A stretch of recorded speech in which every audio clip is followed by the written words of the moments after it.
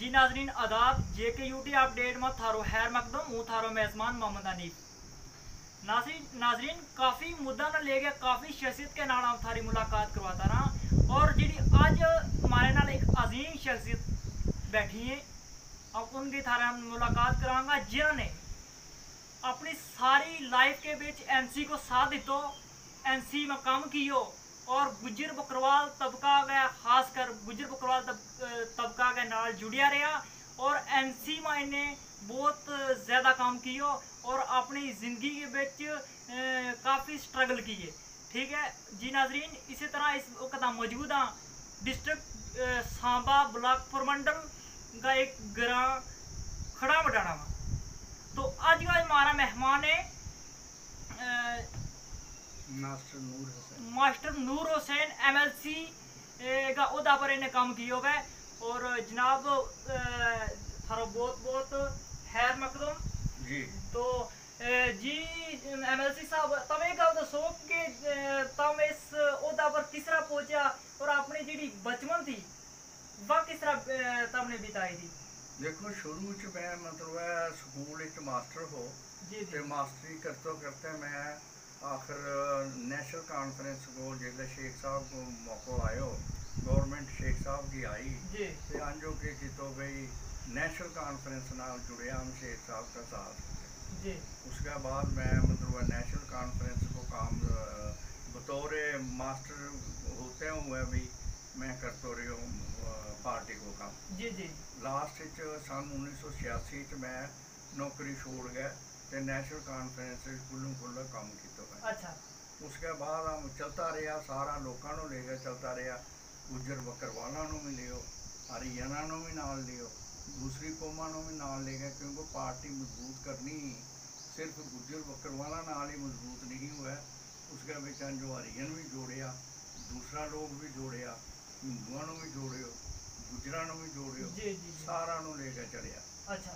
ਚਲਤਾ ਚਲਤਾ ਮਤਲਬ ਹੈ ਆਖਰ ਪੀਛੜੀਆ ਆ ਗਏ ਕਿ ਫਾਰੂਕ ਸਾਹਿਬ ਨੂੰ ਮੈਂ ਘਰ ਬੁਲਾਇਓ अच्छा ਵੇ ਤਾਇਆ ਫਾਰੂਕ ਸਾਹਿਬ जी ਬੜੋ ਵੱਡੋ ਜਲਸੋ ਹੋਇਓ अच्छा ਉਸਕੇ ਵਿੱਚ ਉਹਨੇ ਆਖਿਓ ਨਹੀਂ ਜੀ ਹਮ ਅ, ਮਾਸਟਰ ਜੀ को एमएलसी बनाएंगे अच्छा एक दफ़ा भी आखियो फिर इसी तरह ही चलते चलते मैं सन उन्नीस सौ छियासी च रिटायरमेंट ले ली अच्छा पहले तो मास्टर हो मतलब मास्टरी करते रहे हो ना जी फिर जी मैं नौकरी छोड़ गया नेशनल कॉन्फ्रेंस ज्वाइन कर ली अच्छा, और उसका बिच फारूक साहब जिला आया लगा कहने भी एमएलसी बनाएंगे आपको हाँ, मगर बहुत सारा ऐसा कुछ लोग हा वे मैनू बनन नहीं हा देता अच्छा क्योंकि मैं फील्ड च काम ज़्यादा करूँ हो तो वे आख्या है भाई यो बंदों नहीं बनना चाहिए अच्छा तो मैनू बनन नहीं हा देता जी, ये लास्ट ਵਿੱਚ ਕਾਫੀ ਚਿਰ ਚਲਦਾ ਰਿਹਾ ਫਿਰ ਮੈਂ ਆਸ ਛੋੜ ਹੋਡੀ ਵੀ ਹੁਣ ਐਮਐਲਸੀ ਨਹੀਂ ਬਣਾਉਣਾ ਉਹਨੇ जी जी ਮੈਂ ਛੋੜ ਬੈਠੋ ਆਸ अच्छा ਵੀ ਹੁਣ ਇਹਨੇ ਬਣਾਉਣਾ ਨਹੀਂ ਹੈ अच्छा ਲਾਸਟ ਵਿੱਚ ਕੀ ਹੋ ਜੋ ਬਈ ਕੁਦਰਤ ਉਸ ਰੱਬ ਦੀ ਤਰਫੋਂ ਉਮਰ ਅਬਦੁੱਲਾ ਨੇ ਮੈਨੂੰ ਬੁਲਾਇਓ ਜੀ। ਤੇ ਨਾ ਮੈਂ ਕੋਈ ਕਿਸੇ ਨੂੰ ਆਖਿਓ ਵੀ ਮੈਨੂੰ ਬਣਾਓ ਜਾਂ ਨਹੀਂ ਬਣਾਓ ਮੈਂ ਨਹੀਂ ਆਖਿਓ। ਉਹਨੇ ਕਿ ਕਿਤੋਂ ਮਦਰਗਾ ਫਾਰੂਕ ਸਾਹਿਬ ਨੇ ਉਮਰ ਸਾਹਿਬ ਨੇ ਮੈਨੂੰ ਬੁਲਾ ਗਿਆ ਉਹਨੇ ਆਖਿਓ ਵੀ ਕੱਲ ਆਪਕਾ ਫਾਰਮ ਭਰਨਾ ਹੈ ਐਮਐਲਸੀ ਕੇ ਲਈ ਜੀ। ਬਗੈਰ ਆਖਿਆ ਬਗੈਰ ਸ਼ਿਵਾਸੋਂ ਬਗੈਰ ਉਹਨੇ ਮੈਨੂੰ ਐਮਐਲਸੀ ਦਾ ਅਹੁਦਾ ਪਰ ਫਾਰਮ ਭਰਾਇਓ। ਜੀ ਜੀ। ਫਿਰ ਮੈਂ ਸੀ ਬਣ ਗਿਓ। ਬਣਨ ਕੇ ਬਾਅਦ ਮੈਂ ਫਿਰ ਸਾਰਾ ਇਲਾਕਾ ਬਾਈ ਮਜਾਲ ਦਾ ਨਗੂਟਾ ਕਾਂਸਟੀਟੂਐਂਸੀ ਚ ਵੀ ਕੰਮ ਕੀਤਾ। ਸਾਂਬਿਆ ਚ ਵੀ ਕੰਮ ਕੀਤਾ ਬਿਸ਼ਰਾ ਵਿੱਚ ਵੀ ਕੰਮ ਕੀਤਾ। ਲੋਕਾਂ ਦਾ ਜਿਸ ਜਿਸ ਗਰੀਬਾਂ ਦਾ ਕੰਮ ਹਾਂ ਜਿਸ ਤਰ੍ਹਾਂ ਨੇ ਦੱਸਿਓ ਮੈਨੂੰ ਮੈਂ ਕੰਮ ਕਰਤੋ ਰਿਹਾ। ਕਾਫੀ ਮੈਂ ਕੰਮ ਕੀਤਾ ਕੋਈ ਕੰਮ ਨਹੀਂ ਕੀਤਾ। ਮੈਂ जी सर अ, मैं तुमने कमी कितना साल कमीशन नहीं ली जी जी कितना साल तुमने जो एनसी का साथ दितो और एनसी में काम की हुए मैं तकरीबन मतलब है कोई भी पंजी साल मतलब है पंजी साल कोई काम कीतो नेशनल कांफ्रेंस अच्छा तो थारी एक ही पार्टी रही एनसी एक एनसी च रियो मैं कोई बदल बदल नहीं कीतो अज भी एनसी च मैं अज जी भी मैं अगर है तो एनसी को ही काम करा पिया अज इसले जरा थोड़ा जा ਸਿਆਸੀ ਹਾਲਾਤ ਬਦਲਿਆ ਵਾ। ਵਰਨਾ ਮਤਲਬ ਅੱਜ ਵੀ ਆਮ ਐਨਸੀ ਦਾ ਆਮ ਅਦਲ ਬਦਲ ਪਾਰਟੀ ਕੋ ਨਹੀਂ ਮੈਂ ਕੀਤਾ। ਜੀ ਜੀ ਜੀ। ਐਨਸੀ ਚ ਰਿਹਾ ਹਮੇਸ਼ਾ। ਜੀ। ਲੋਕਾਂ ਦੀ ਗਰੀਬਾਂ ਦੀ ਮਦਦ ਕੀਤੀ ਪੂਰੀ ਕੌਮਾਂ ਦੀ ਮਦਦ ਕੀਤੀ ਗੁਜਰ ਬੱਕਰਵਾਲਾਂ ਨੇ ਵੀ ਕੀਤੀ ਹਰੀਜਨਾਂ ਨੂੰ ਵੀ ਕੀਤੀ ਹਿੰਦੂਆਂ ਨਾਲ ਵੀ ਚਲਿਓ। ਮਿਲ ਮਿਲਾ ਕੇ ਪਾਰਟੀ ਨੂੰ ਮਜ਼ਬੂਤ ਕਰਨੋਂ ਇਸ ਵਾਸਤੇ ਸਾਰਾ ਲੋਕਾਂ ਨੂੰ ਲੈ ਕੇ ਚਲਿਆ ਜੀ ਜੀ ਜੀ। ਸਾਰਾ ਨੂੰ ਲੈ ਕੇ ਚੱਲਣੋਂ ਜੇ ਤੇ ਇੱਕ ਪ- ਇੱਕ ਫਿਰਕਾ ਨੂੰ ਲੈ ਕੇ ਚਲੋ ਫਿਰ ਪਾਰਟੀ ਮਜ਼ਬੂਤ ਨਹੀਂ ਹੁੰਦੀ। ਜੀ। ਪਾਰਟੀ ਨੂੰ ਮਜ਼ਬੂਤ ਕਰਨ ਵਾਸਤੇ ਸਾਰਾ ਲੋਕਾਂ ਨੂੰ ਨਾਲ ਲੈਣਾ ਪੈਣਾ ਇਸ ਵਾਸਤੇ ਨੈਸ਼ਨਲ ਕਾਨਫਰੰਸ ਅੱਜ ਜੋ ਕਾਫੀ ਮਜ਼ਬੂਤ ਕੀਤੀ। ਸੁਰਜੀਤ ਸਿੰਘ ਸਲਾਥੀ ਐਨਸੀ ਉਹ ਕੈਂਡੀਡੇਟ ਜਿਤਾਇਓ ਫਿਰ। ਉਹ ਮਿਨਿਸਟਰ ਵੀ ਬਣਿਓ। ਨਗਰੋਟਾ ਚ ਜੋ ਮਤਲਬ ਹੈ ਦਰਵਿੰਦਰ ਰਾਣਾ ਨੂੰ ਜਿਤਾਇਓ। ਬੜੀ ਮਦਦ ਕੀਤੀ ਉਸकी ਵੀ ਮੈਂ। ਫੀਲਡ ਵਿੱਚ ਜਿਹੜਾ ਇਲੈਕਸ਼ਨ ਹੀ ਤੇ ਦਰਵਿੰਦਰ ਰਾਣਾ ਦੀ ਵੀ ਮਦਦ ਕੀਤੀ जी सलाथिया की भी मदद की थी अच्छा और भी मतलब है जिस पार्टी को मतलब है जैसे बिशना है बिशना च भी मैं गयो अच्छा उस भी जाके रोड़ो रोड़ो एम एल ए बने हो तो उसनों भी उसकी भी मदद की थी अच्छा तो जितनी मेरा को हो सके ही मैं इन्हों जब जबां पर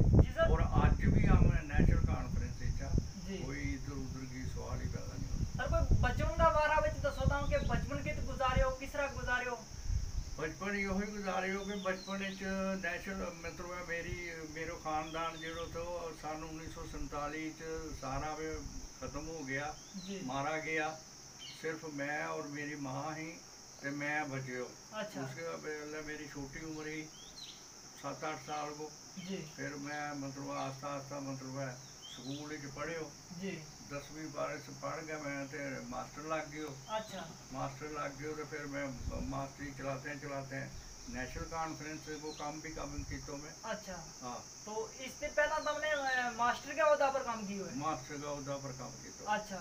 इससे पढ़ा कड़ामना ने तो उसके बाद सारी रिटायरमेंट आ गई थी कि आपने रिटायर पे ले ली मैं रिटायरमेंट ले ली क्योंकि मैं आज 13 14 ਸਾਲ ਮੇਰੀ ਸਰਵਿਸ ਹੈ ਹੀ।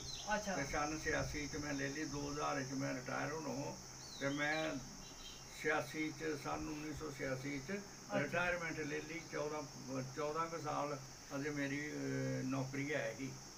जी जी ਹਾਂ अच्छा तुम एक बात दसो कि जिस वक्त तुमने अ, अपनी सर्विस छोड़ के हम्म। एनसी ज्वाइन की हम्म। और उसके बाद ये सारी लाइफ ਜਿਹੜੀ तुमने एनसी ਵਿੱਚ ਰਿਹਾ ਐਨਸੀ ਚ ਰਿਹਾ ਬਸ ਇੱਕੋ ਪਾਰਟੀ ਐਨਸੀ क्षेत्र फारूक साहब को साथ दितो उमर साहब को साथ दितो नेशनल कॉन्फ्रेंस वास्ते पूरी मेहनत की पूरी जोश नाल काम कितो और इंशाल्लाह नेशनल कॉन्फ्रेंस काफ़ी मजबूत हुई इस एरिया च जम्मू का एरिया च जो जिधर जिधर गया नेशनल कॉन्फ्रेंस की काफ़ी मजबूती हुई और नेशनल कॉन्फ्रेंस ही एक ऐसी पार्टी ਜਿਹੜੀ ਸਾਰਾ ਲੋਕਾਂ ਨੂੰ ਲੈ ਕੇ ਚੱਲਣ ਵਾਲੀ ਪਾਰਟੀ ਹੈ ਇੱਕ ਫਿਰਕਾ ਦੀ ਪਾਰਟੀ ਨਹੀਂ ਹੈ ਜੀ। ਨੈਸ਼ਨਲ ਕਾਨਫਰੰਸ ਰਿਆਸਤ ਦਾ ਸਾਰਾ ਲੋਕਾਂ ਦੀ ਨੁਮਾਇੰਦਗੀ ਕਰੇ जी जी अच्छा बहुत वो माशाल्लाह थरो एमएलसी साहब बहुत बहुत शुक्रिया। जी नाजरीन खासकर गुजर बकरवाल तबका का जरा लेख और इसके अलावा जम्मू कश्मीर की जितनी भी आवाम है वो खासकर एमएलसी साहब और की ज़रूर वाकफित हुएगी